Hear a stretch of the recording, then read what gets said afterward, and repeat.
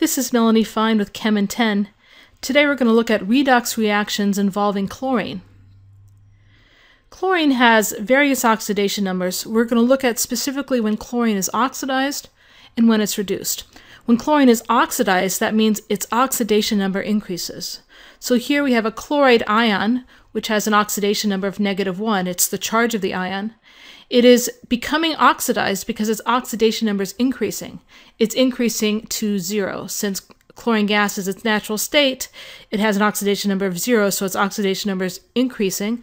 So we say chlorine is oxidized. And of course, we have to balance this reaction, so we're going to need two chloride ions on the left, and we need to balance the charge by adding two electrons to the right. In contrast, when chlorine is reduced, its oxidation number is also reduced. It's, it decreases, it's lowered.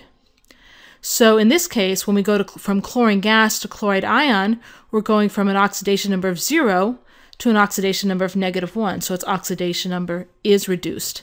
And we want to balance this reaction. We have now two chlorine atoms on the left, two chloride ions on the right, and we're going to have to balance out that negative charge by adding two electrons to the left.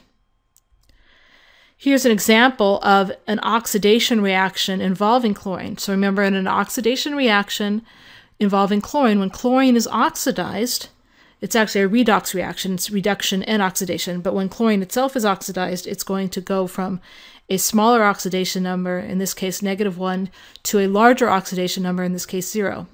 So the reaction between potassium permanganate and chlorine gas is an example of a redox reaction in which chlorine is oxidized. Notice how we go from hydrochloric acid, HCl, in which the charge or the oxidation number of chlorine is negative 1, to chlorine gas, in which, in which case the oxidation number is zero. So in this reaction between potassium permanganate and hydrochloric acid, we produce chlorine gas and chlorine is oxidized. In contrast, when chlorine is reduced, remember its oxidation number is similarly reduced. So an example of a reaction where chlorine, its oxidation number is reduced, is a reaction between chlorine gas and bromide. Bromide is the ion of bromine.